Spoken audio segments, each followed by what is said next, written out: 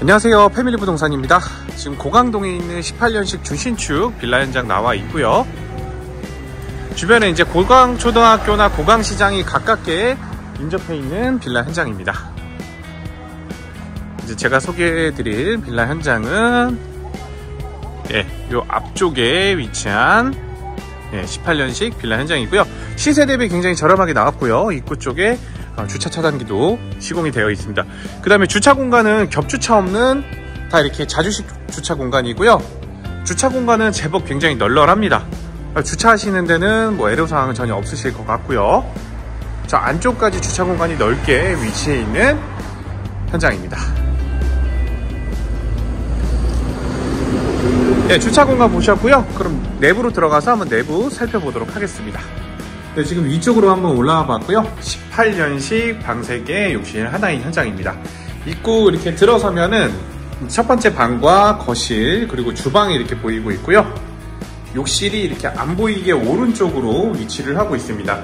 당연히 이제 뭐 2018년식이라서 집 상태는 굉장히 깔끔한 상태라고 보시면 될 것 같아요. 뭐 특별히 타일이 깨지거나 그런 부분도 없고요. 뭐 집은 굉장히 깔끔합니다. 그리고 입구 쪽 전실 모습인데요. 잠시만 제가 불을 좀 센서를 켜고 예, 전실이 아주 넓은 타입이에요. 보시면 굉장히 넓고요. 이쪽 부분에다가 이제 앉은 장을 하나 두시면은 신발 갈아 신을 때도 굉장히 좋으실 것 같아요. 벽체도 이제 대리석 타일로 다 시공이 되어 있고요. 입구 쪽은 이렇게 슬라이딩 중문 시공이 되어 있습니다. 그리고 이렇게 쓰면 방금 이제 욕실을 보셨고 왼쪽으로는 또 첫 번째 방이 위치를 하고 있고요. 예, 첫 번째 방 모습이고요.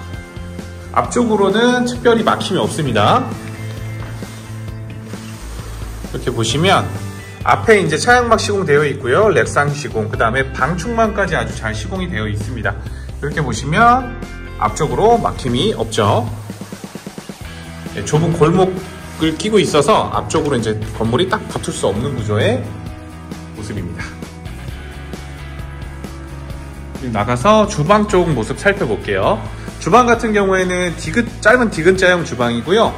냉장고 한 대 위치 가능하고 가스쿡탑 이용 가능하시고요. 이 주방도 상태가 굉장히 깔끔합니다. 뭐 기름때도 잘 안 보이고 있고요. 네, 이쁜 펜던트 조명도 시공이 되어 있어요. 그리고 이제 우드 소재와 대리석 타일로 시공되어 있는 거실 모습이고요. 바닥 같은 경우에도 이제 장판이 아니고 이제 마루 시공 잘 되어 있습니다. 네, 거실 모습.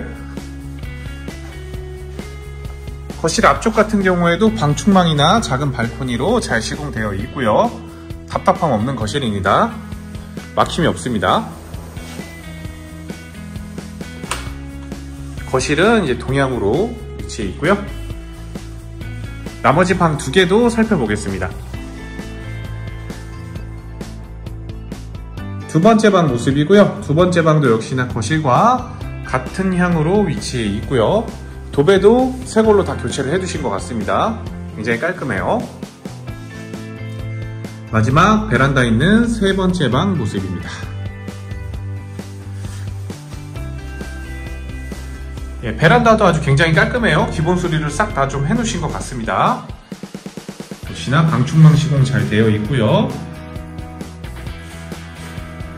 보시면 2018년식 네, 보일러에도 2018년 잘 적혀 있고요. 베란다 쪽도 막힘없어요. 예, 보시면 답답함 없죠. 예, 전체적으로 앞쪽에 이제 높은 건물로 가로막지 않은 빌라기 때문에 층수는 낮아도 답답함은 없습니다. 2018년식이 굉장히 깔끔하고요.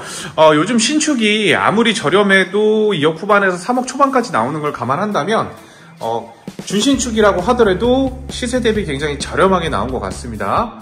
위치도 이제 주변에 시장도 가깝게 인접해 있고요. 초등학교, 중학교, 고등학교도 가깝게 인접해 있습니다. 그리고 어, 차로 이동하시거나 버스를 이동하셔도 강서나 양천구가 가깝게 인접해 있는 고강 위치라고 보시면 될 것 같습니다. 네, 여기까지 18년식 준신축 현장이었고요. 추가로 궁금한 사항은 언제나 편하게 유선 문의 주시고요. 여기까지 패밀리 부동산이었습니다. 구독과 좋아요, 알림 설정도 꼭 부탁드리겠습니다. 감사합니다.